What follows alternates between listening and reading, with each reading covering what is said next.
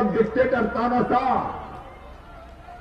बताओ, दीदी तानाशाह है कि नहीं है? ये तानाशाही नहीं चलेगी।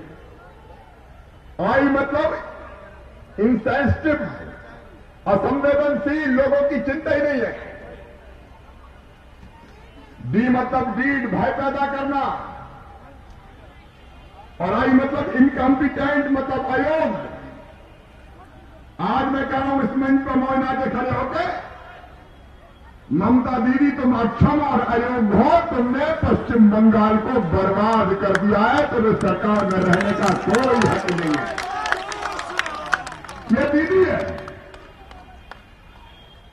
और जब दीदी कहता हूँ, मेरे मन में तो दीदी का यही चित्र नज़र आता है। दीदी, आज मैं सवाल पूछता हूँ, ममता दीदी जवाब दो। एक बार 1906 में अंग्रेज़ों ने पश्चिम बंगाल को बांटा था। पूर्वी बंगाल, पश्चिम बंगाल।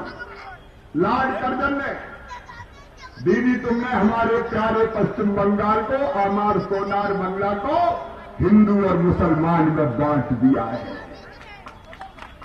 ये बात वाली दीदी है। मैं पूछना चाहता हूँ ममता दीदी, सरस्वती पूजा का विरोध काली पूजा का विरोध। चंडी पूजा नहीं होगी, सरस्वती पूजा नहीं होगी, लेकिन ताजिए निकलेंगे। ये कौन सा न्याय है, ममता जी, मैं पूछना चाहता हूँ। ममता दीदी, जवाब दो। जय श्री राम के नाम पे तुम्हारे कांटे क्यों खड़े होते क्यों टीएमसी चिल्लाती है? हम बोलते जय श्री राम अब जय श्री राम बोलने से तो रावण चिड़ता था। ये टीएमसी वालों को डर क्यों लगता है। अरे राम हमारे अस्तित्व है। राम हमारे आराध्य है। राम हमारे प्राण है। राम हमारे भगवान है। और राम भारत की पहचान है। बिना राम के लिए देश नहीं जाना जा सकता नहीं, जय श्री राम बोलो तो घबरा जाती है। दीदी घबरा जाती है।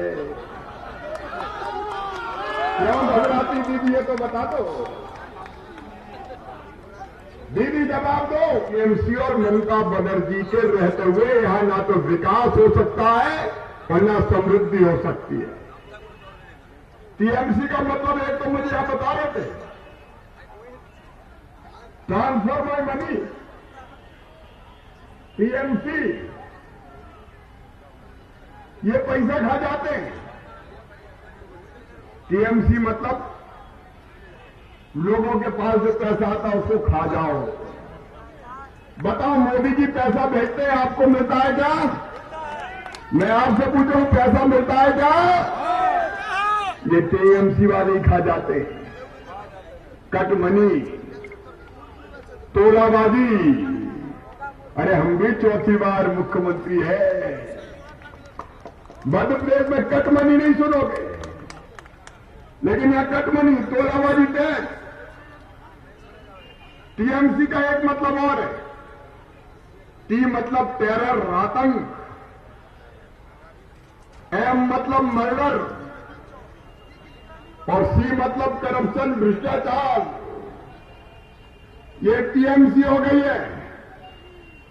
मैं टीएमसी के गुंडों को चेतावनी देता हूँ। दो मई ममता गई, दीदी गई एक एक गुंडों को समझ सिखाया जाएगा।